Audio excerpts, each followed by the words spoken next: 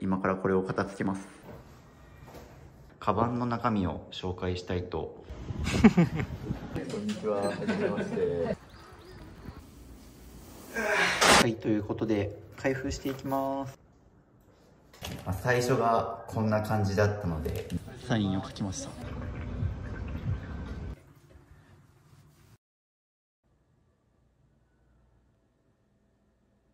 今日はマリスト渋の一日を撮影していきますということでガチの寝起きで寝癖がボーボー朝7時台に起きてるんですけども今日はこの後筋トレ行ってで朝10時になったら YouTube の生配信をやってでその後昼になったら友達とカフェ行ってでその後あの出版イベントあの僕のオフ会視聴者さんの方と会うトークイベントがあるのでそれに行ってっていう感じ夜は友達とご飯行ってとかというので僕あの iPhone15 を新しく買いまして今それで撮影しています、まあ、なので今日はちょっといろいろ予定が詰まってるのでこの iPhone15 Pro だけで撮影していこうと思います。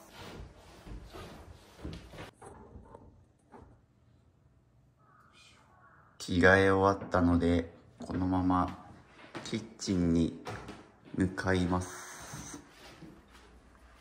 はい。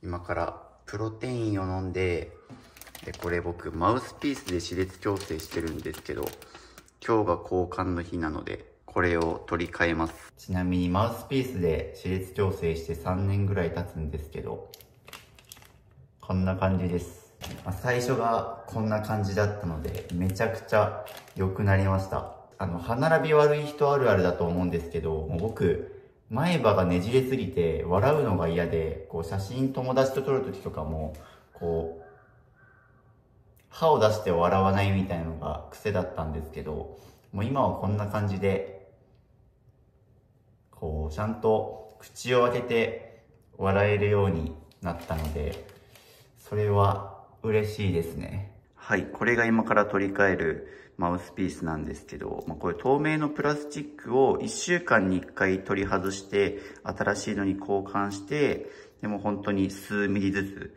ちょっとずつずらすっていう感じなんですけど、まあ、これが僕の上の方の歯ですね。でこっちが下の方の歯っていうのでま歯型を取って僕用に合わせたオリジナルのマウスピースを作ってもらってるっていうやつですね。で、朝起きたらあのプロテインを飲みます。もうすでにですね、こういう感じで、あの、粉を事前に入れてあるので、あとは水に溶かして飲むだけですね。朝起きて粉入れるのめんどくさいから、寝る前、夜に仕込んでます。ちなみにこれ普通のプロテインではなくて、ガリガリ僕みたいな痩せてる人用の太るプロテイン、ウェイトゲイナーで、まあこれ1杯で400カロリーとタンパク質が 15g あります。今から朝の散歩がてら筋トレに行ってきます。で外出するときはこの足元にあるお掃除ロボットボタン一発押すともう起動するの。という感じで今から筋トレに行くのでこのお掃除ロボットに掃除を任せて行ってきます。はい、ということで、ジムに着きました。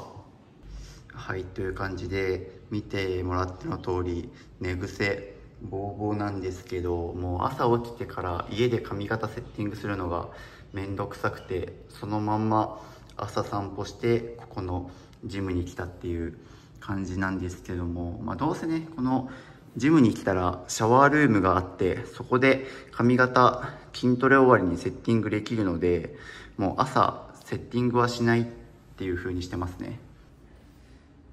でも特に着替えもせずそのまんま T シャツ1枚で筋トレしてます。で、家から持ってきたのはこのサポーターだけ。時刻は8時半、筋トレスタートです。は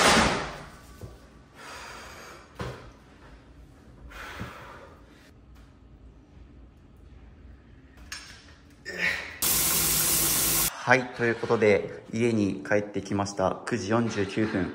今から10分後に YouTube の生配信があるのでやるんですが、工事音が、カンカン言ってるの聞こえますかね？あの、マンションの向かいで工事があるん、いや、工事やってるんですけど、今日、土曜日だよ、土曜日。ね、生配信にちょっと音が入らないか、非常に心配。もう年内に引っ越すんで、そうですね、ちょっと次は、工事音がない静かな場所に引っ越したいと思うんですが、まあ、我が家配信するときは、こんな感じで、まあ、我が家テーブルがないので、出窓を机にして、で、このスツールを椅子にパソコンを置いて、で、これが最近買った配信用のマイクと一眼レフを、で、こっから、あの、キッチンからケーブルを引っ張って、ここにいろいろ繋いでるんですけど、まあ、これがもう僕の中の一番ミニマム装備ですね。MacBook、カメラ、マイク。こんだけ繋いでももう結構ね、ケーブル配線ごちゃごちゃしてるんですけど、ちなみに事務終わりなので、髪型もセッティングし終わりました。朝の配信でございます。ということで、今日タイトルがミニマルライフから学んだことということで、ミニマリスト支部の一日っていう形で、今、ライブ配信してる様子を、まあ、こうやって撮ってるっていう感じです。はい、ということで、配信が終わりました。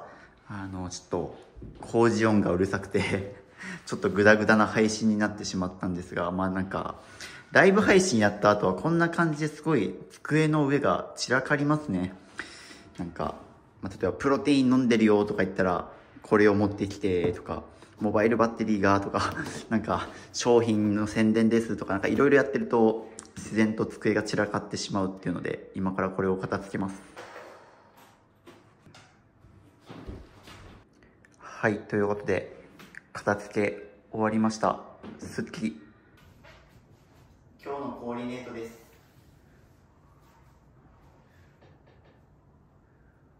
はい、ということで今からイベントに行ってくるんですが、カバンの中身を紹介したいと思います。で、これ、撮影用の自撮り棒ですね。伸ばすとこういう風になって、で、あとはですね、あの、これ、僕が監修しているアパレルブランドの商品をイベント中に展示するんですが、えー宣伝タイムになるんですが、こちら、僕が監修しているアパレルブランド、レスイズ JP の新商品、10月24日発売の小さい L 字財布という名前のミニ財布兼スマホ裏にも貼り付く財布っていうので、まあこれ、あの、レザーの種類がスムース、ツルツルしたやつと、シュリンクっていう加工した2種類同時発売で、まあ、裏面にはこういうパスケースがついてたり、粘着テープを使ってスマホを裏に貼り付けることができますよという、クレジットカードサイズの最小サイズの L 字財布となります。まあ中身開けるとですね、はい、カード3枚と小銭と、あとここね、この他の L 字財布にない特徴の一つ、なんとこの小銭のね、仕切りはよくあると思うんですけど、そこにさらに細かい仕切りがついてて、鍵もパッと取り出しやすい専用ポケットがあるよと。で、お札は折って入れるっていう。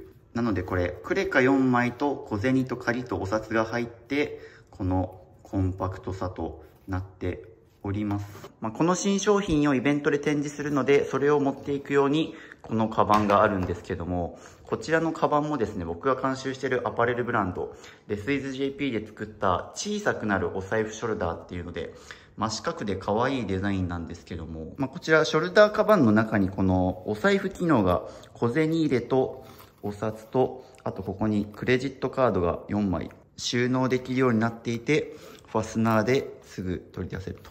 さらにこれですね、商品名通り小さくなるという機能がついていて、これ、あの、ボタンが、ボタンの側面とそこについてますので、これを閉じると、すごい薄くなって、サコッシュみたいなサイズ感にも変形するので、まあ、荷物の必要量に合わせて変形するよというカバンですね。ちなみになんですが、こう、水筒とかペットボトルも入るサイズ感になっております。はい。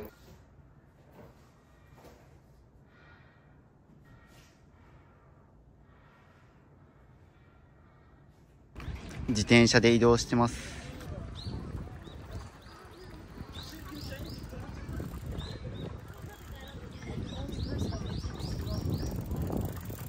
目的地に着いたので自転車を返却します。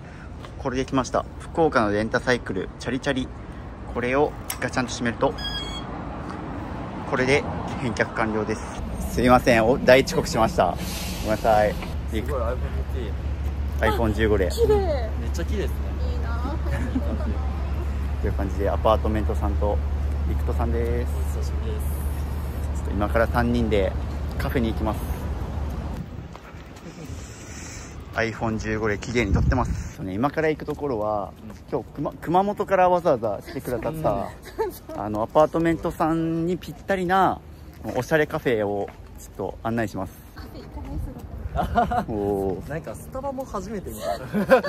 え？この前スタバにはい行ってはい。本当にほぼほぼ初めてえみた。いな本当に人生何何度目か。何度目かぐらいえー、すごっ。ここここ10年以上は間違いなく行ってないえー、10年ぶりのスタバだったそれそれなかなか珍しいですね。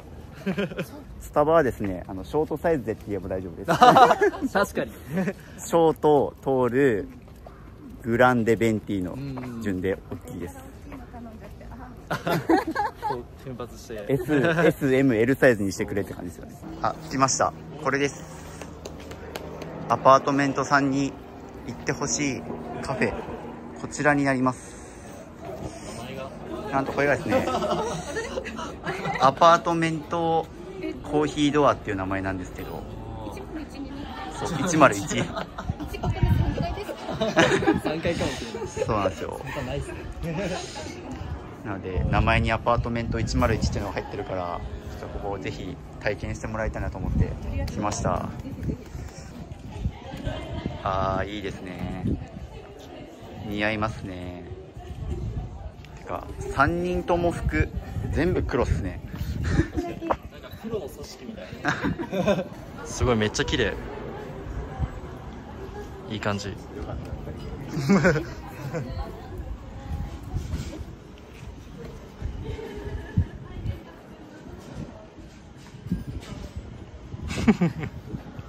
今カフェが満席で待ってます。あのお二人も今日のイベントにお客さんで普通に申し込んで来てくれたんですけどあのリクトさん僕の監修したアパレルブランドのレスイズ JP のバックレスシャツを着てますね。ちょっと僕気に入ってて。あありがとうございます。まあちょっとここに収納がそうここに iPad 入ってるんだ。そうあこれ便利。そうそうそう。これがちょうはい。ど収まるポケットのサイズだから、そう。めっちゃいい商品じゃないですかこれ。ど この商品ですかね？あ僕が監修してるブランドのレスイズすいません。これもう一個宣伝になるんですけど新商品が出ましてなんと。おかわいい。そう可愛いでしょこの真四角のカバン。いいっすね。この中にこの中にまあ、ちょっと今日僕あのいろいろ新商品があるんでイベント用に、まあ、実は最近こういうちょっとうん。ちっちゃいあのクレカサイズのうん。L 字財布を作ったりとか、本当コンパクトですね。はい。まあ、それをちょっと今日展示するようにうん。持ってきたんですけど。すごいいい感じ似合いますね。あ本当ですか？あここまで畳めるんだ。あそうです。すごっ。呼ばれた。ここいいんですおーあここ使えるんだ。そうこここのカフェこれがおしゃれなんですよ。このアウキャンプ用品を一緒にして。るこんな感じのおしゃれカフェです。ペイペイで支払うんですか？ペイペイで払います。さすがキャッシュレスマン。最先端ですね。今更感あります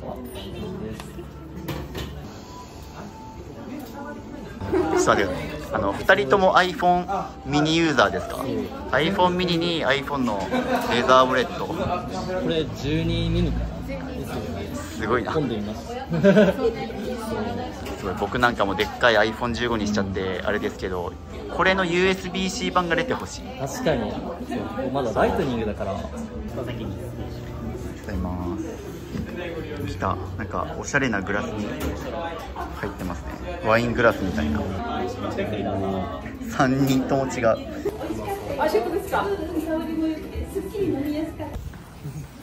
いいカフェでした。うんイベント会場に着きました。蔦屋書店。でちょっとイベント会場ですね。なんか50人ぐらい来るみたいで。はいこんな感じですまあ四隅さんの本が置いてあって購入した方がイベントに参加できるっていう。と支部が四隅大輔と語る人生の可能性を最大化するライフスキルと題してトークショーを開催いたします。対談相手の四隅さんが来ました。よろしく。よろしくお願いします。みんな見てねそれでは、えー、準備が整いましたので、お二人に登場していただきたいと思います。えー、それでは、渋さん、えー、吉見さん、どうぞよろしくお願いいたします。皆さん、盛大な拍手でお迎えください。お願いします始まります 確かもう本は来てすぐのところに持ち物の紹介があって、うんなんかこのカバンは何グラムとか グラムごとに書いてあってあそこまでこだわってんだみたいな、まあ、僕もなんとなく軽い方がいいなくらいはあるんですけどそこまで徹底的に一着一着のうん服をなんか測ってっていうのは僕もすごい影響を受けてもう最近もなんか服買う時とかもなんかこれもなんか軽いかどうかとかグラムチェックしてるグラムチェックまではしないけどでも軽いなっていうとこ軽さをろを優先に。ポイントに加えたって感じね。そうですね。あー。めっちゃ影響しました僕。えー、めっちゃ嬉しいです。俺も渋君の影響めっちゃ受けてるけどねこれほら。渋君のオーラリング。おおはい。ちょっとこれなんか少しカメラに映してもいいかなここだけ。ちょっとサインを書きました。ありがとうございま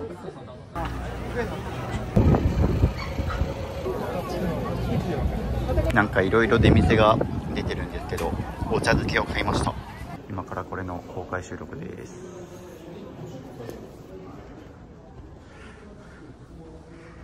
あそこで喋ります。この割合って流れとしては先ほど10分ぐらい。あ一中あやってるんですけどちょっと喋ります。時間が間違ってなんでこん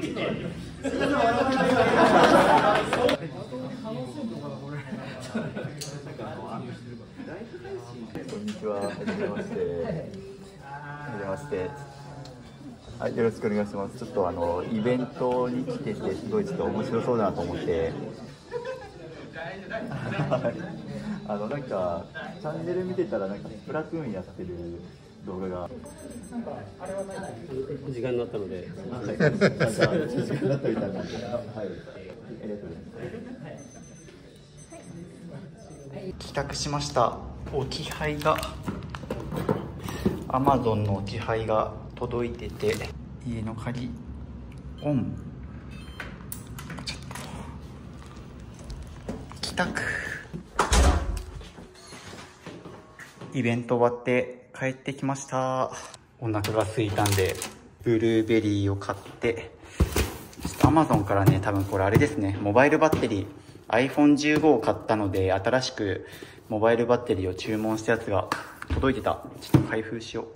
じゃじゃーん。届きました。アンカー621パワーバンク。はいということで開封していきます。ケーブル不要超コンパクト。約1回充電ということでまさにミニマリスト向けのコンパクトモバイルバッテリーでもともと僕これ使ってたんですよ。iWalk っていうこれライトニングケーブルでそのまんま iPhone にぶっ刺せるっていう、まあ、ただ今回 iPhone が USB-C になってこれが使えなくなってしまうのでこちらですね。アンカーから USB-C 版でこれ似た商品が出てたのでこれ購入したんですけどこれ発売した瞬間に売り切れてもう品切れで買えないっていう感じだったんですけどなんか在庫が復活してたのでもう即注文しました。じゃじゃん。おおコンパクト。でおこれすごい。USB-C ケーブルが畳めますね。はいということでもともと使ってた iWalk との比較。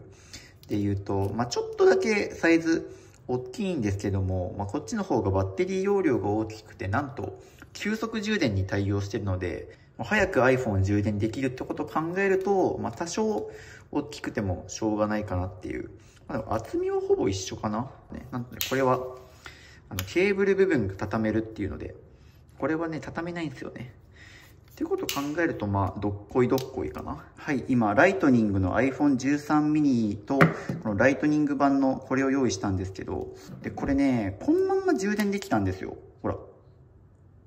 まあだから両方とも充電できますっていうのが、まあ、ちょっと前の使ってた iWalk の良さだったんですけど、こっちはそれができないっぽい。ちょっと調べておきますか。まあよく僕コンビニに立ち寄ってこの冷凍ブルーベリー1日1個食べてるんですけど、ファミマのやつ買ってますね。まあセブンとかローソンよりも値段が50円ぐらい安くて、まあドールで美味しいしっていうので。眠すぎる。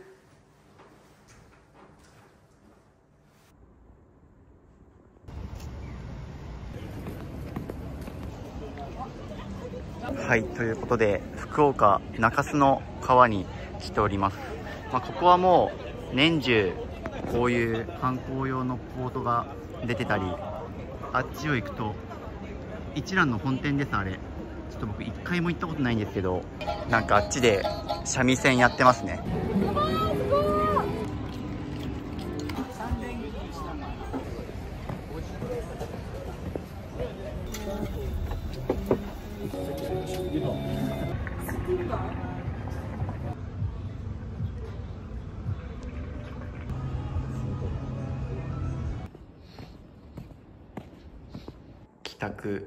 ました。はいという感じで、まあ、荷物はこれだけで外出してたんですけど、まあ、今撮影してるこの手元の iPhone15 Pro と新しく買ったこのモバイルバッテリーとイヤホンっていう感じで、まあ、早速今日使ってきたんですけど、まあ、やっぱ USB-C 便利なんですけど友達が iPhone 使ってて充電切れになったからモバイルバッテリー持ってないって言われて貸したかったんですけど友達がまだ iPhone14 で、結局まだ世間一般的にはまだ14より下のライトニングケーブル使ってる人の方が多かったりしたので、まあそういう時にちょっとこれ貸し出しができない、シェアできないっていうのはちょっと不便だなと思いました。まあ逆もしかりで、友達が使ってるライトニングケーブルのモバイルバッテリーは僕も使えないしっていうので。まあただこれ自体は本当にすごく、あの充電スピードも速くて良かったですね、これは。持っといてよかった。はい、今日は疲れてるからもう見ないんですけど、普段はこの天井にアラジン X っていうプロジェクターが吊るしてあるので、まあ、ここでネットフリックスとか見てから寝るっていう感じですね。今日はちょっと疲れたんで寝ます。で、動画を見るときは普段使ってるこのスツールをサイドテーブル代わりにして、で、上にこの間接照明兼これ、Bluetooth スピーカーなんで、あそこの天井のやつと実はつながってて、まあ、こっから音を出して映像鑑賞するっていう感じですね。ということで疲れたので寝ます。